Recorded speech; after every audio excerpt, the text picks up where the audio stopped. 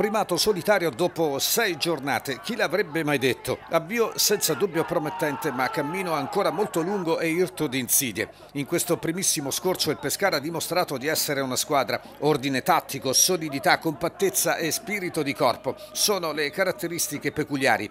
Lunedì alle 20.45 confronto interno col neopromosso Carpi. All'Adriatico finora una vittoria su autorete al 93 contro la matricola pianese. In trasferta tre vittorie in altrettante gare contro Ternana, Rimini ed Entella. Dunque sul piano dei numeri il primo obiettivo è migliorare il trend casalingo. In realtà sotto il profilo della prestazione, parliamo di ritmo e intensità, i biancazzurri hanno steccato solo col Perugia, senza tuttavia perdere, non esattamente un dettaglio. Contro gli emiliani Baldini potrebbe rilanciare Moruzzi in difesa, centrocampo in attacco scontato il ritorno tra i titolari di Dagasso, Vergani e Cangiano.